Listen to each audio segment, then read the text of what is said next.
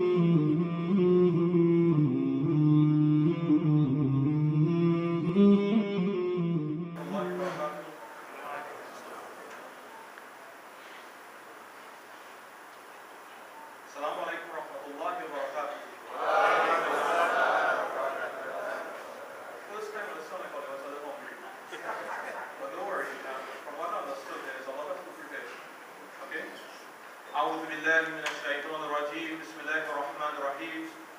الحمد لله الحمد لله رب العالمين والصلاة والسلام على سيد المرسلين. وقد قال الله تبارك وتعالى في القرآن المجيد والفرقان الحميد أعوذ بالله من الشيطان الرجيم بسم الله الرحمن الرحيم. إن الله وملائكته يصلون على النبي. يا أيها الذين آمنوا صلوا عليه وسلموا تسليما. الصلاة والسلام عليك يا سيدي يا رسول الله. الصلاة والسلام عليك يا سيدي يا نبي الله.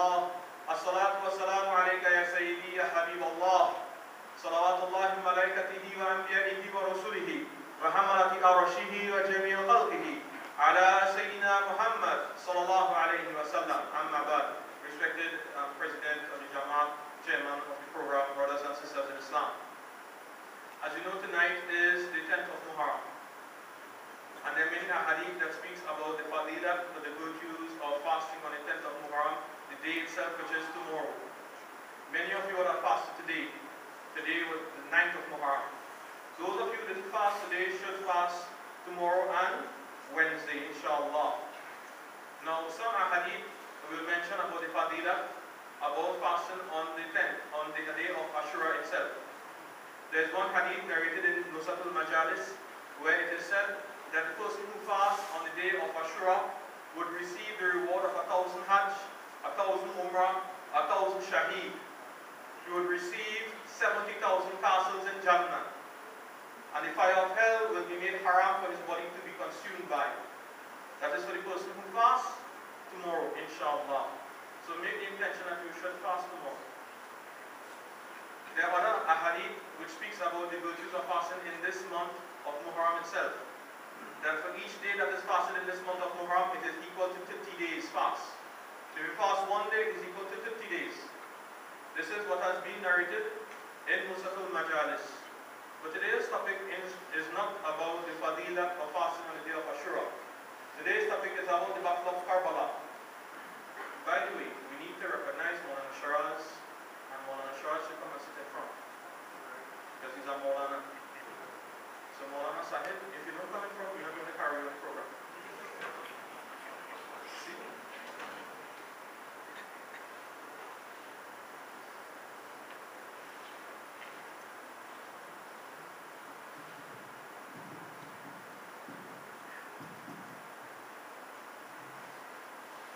So today's program is about the Battle of Karbala. But before we go into the Battle of Karbala itself, we need to understand why this Battle of Karbala is so important to us as Muslims. Why should we feel hurt when we remember Karbala? Most of us are not aware of who are the Ahlul Bayt, the family of Rasulullah sallallahu alayhi wa. The Ahlul Bayt. Remember these two words, Ahlu and Bayt. Ahlu means people and Bayt means house. Ahlul Bayt means people of the household of the Messenger of Allah sallallahu alayhi wa sallam. When we speak about the Ahlul Bayt, we speak about five individuals in particular. We speak about Rasulullah sallallahu alayhi wa sallam, Ali radiallahu Fatima alayhi salam, Imam Hassan alayhi salam, and Imam Hussein alayhi salam. These five individuals are known as the Ahlul Bayt. There are some other narrations that say the wives of the Prophet are also counted among the Ahlul Bayt, and Salman al-Farsi is also counted among the Ahlul Bayt. Tonight, inshallah, is about Karbala and about Imam Hussein in particular. So if you want to know about the Ahlul Bayt and all those who make up the Ahlul Bayt, we will need another program, Chairman. Alright? And I think after people eat the food tonight, they will want another program. Alright? Good. Now this Battle of Karbala the 10th of Muharram. That is, today's date. But the 10th of Muharram in the time of Hussein alayhi salam was actually a Friday. In his time it was a Friday. But before we go to the battle itself, we would like to talk about the Ahlul Bayt, the family of Rasulullah sallallahu alayhi wa sallam. This family of Rasulullah sallallahu alayhi wa sallam, he sallallahu alayhi wasallam said, Whoever is at peace with Ali, Fatima, Hassan, and Hussein, I am at peace with them. And whoever is at war with Ali, Fatima, Hassan, and Hussein, I am at war with them. This alone shows us that we need to love them and we're supposed to be in peace with them. Most of us have a connection with Ahlul Bayt, believe it or not. Every day at least, five times a day, we have a connection with the Ahlul Bayt, with the family of Rasulullah sallallahu alayhi wa And most of you will be thinking at this point in time, what connection is this? How can we say we have a connection with Ahlul Bayt? In every salah, we read, Allahumma salli ala Sayyidina Muhammad. O Allah, send blessings upon Muhammad. Wa ala ahli, wa ala ali Sayyidina Muhammad. And upon the ahl, upon the family of Muhammad sallallahu alayhi wa sallam. Every salah. You cannot read salah without the Durud Sharif. If we recite salah, if we read namaz without the Durud Sharif, your salah is considered fasid and batil, of no value. So each and every one of us recites the Durud in salah five times a day, at least if we read it fard. Right? We're not supposed to only read fard. Eh? So now, I mean, these things will be waiting on the day of judgment itself. It will carry down our scales of goodness on the day of judgment. So even if we just say we read only the five times Salah alone, at least for these five times Salah, we are sending blessings upon the Ahl, upon the family of Rasulullah sallallahu alayhi wa sallam. In particular, we are talking about Imam Hassan and Imam Hussein. There's a hadith from the Sunan of Ibn Majah that Rasulullah sallallahu alayhi wa sallam, he speaks about Imam Hassan and Imam Hussein. He says, Man ahab al-Hassan wal-Hussein, whoever loves Hassan and Hussein, فَقَدْ أَحَبَّنِي Indeed, they love me. Whoever loves Hassan and Hussein is in love with Rasulullah sallallahu alayhi wa sallam.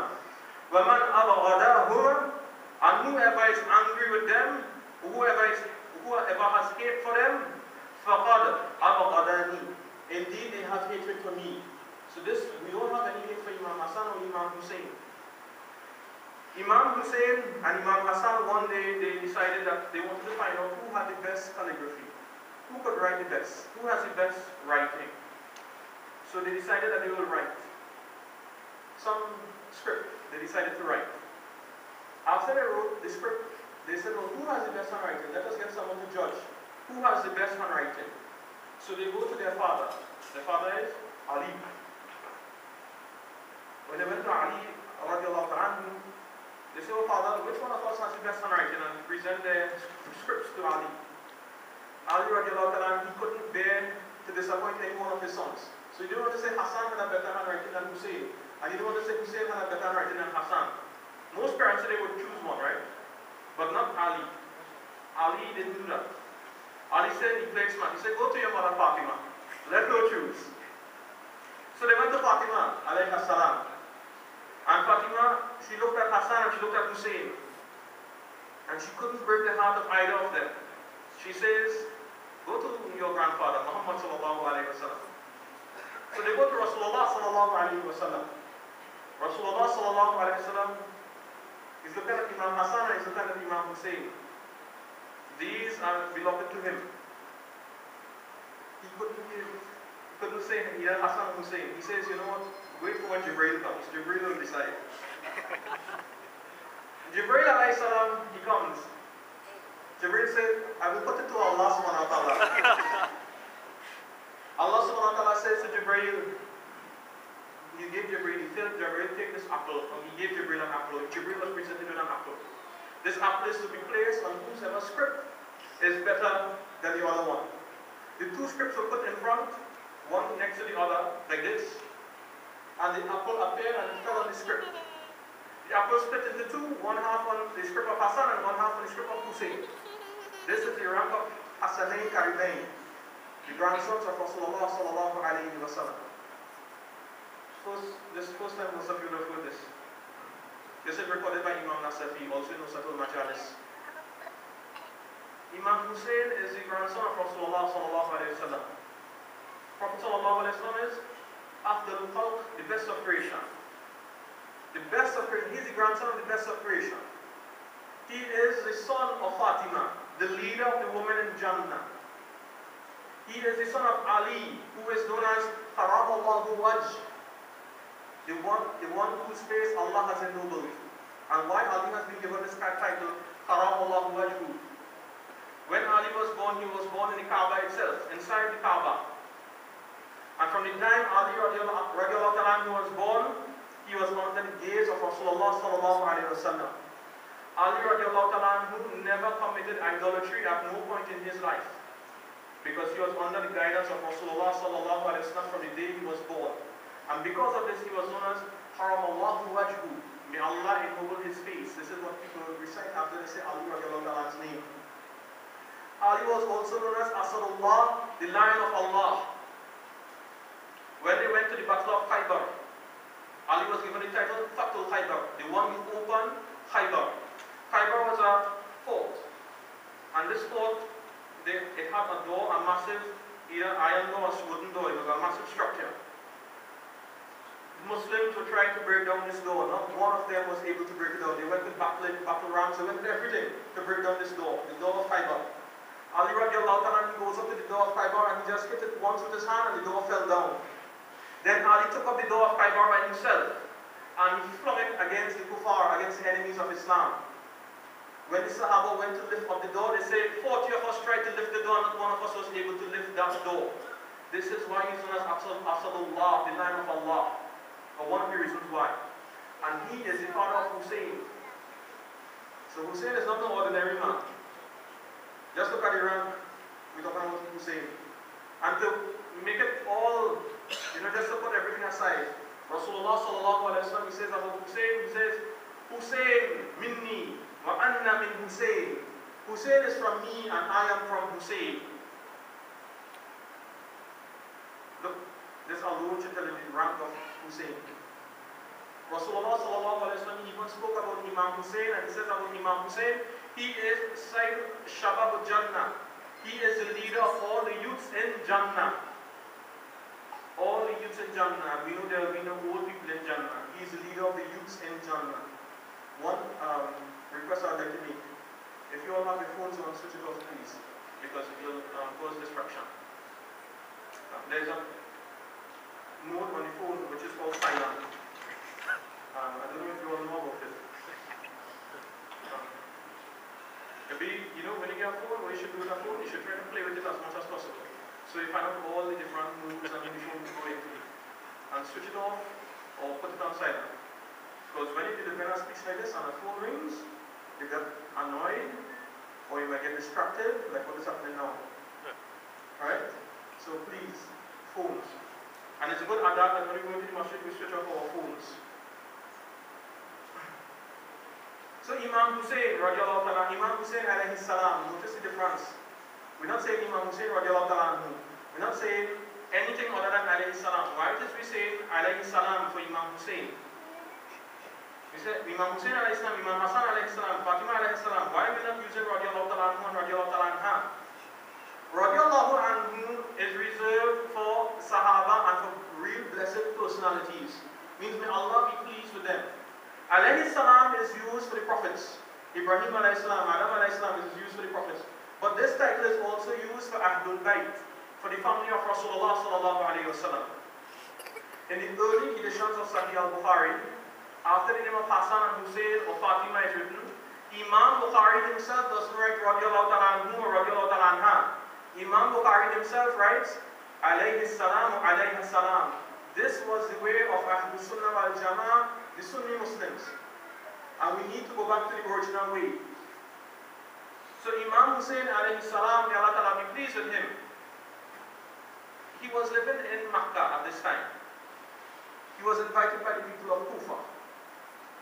Kufa is which, which part has all these battles in Iraq at this point in time. He was invited by the people of Kufa to come to Kufa. And they would take bay'ah from him, etc. But at this time, there was a person by the name of Yazid. Yazid was a tyrant. He was the leader of the Muslim state, or he was the leader of the Muslims. Many Muslims didn't agree with Yazid being the leader, but no one said anything. And because they kept silent, his tyranny reigned. And we as Muslims should not keep silent when we see something wrong. Rasulullah he speaks about it. He says, there are three levels of Iman. If you see something wrong, stop it with your hand. And if you cannot stop it with your hand, stop it with your mouth, with your tongue. And if you cannot stop it with your tongue, stop it with your heart. And know that stopping it with your heart is the lowest form of Iman. Today we see a lot of wrong things being committed in our own Muslim community. And not one of us speak out against it. So evaluate yourself according to this hadith of Rasulullah sallallahu. Stop it with your hand is the strongest one. Stopping it with your heart This is the weakest point of faith. Evaluate yourselves.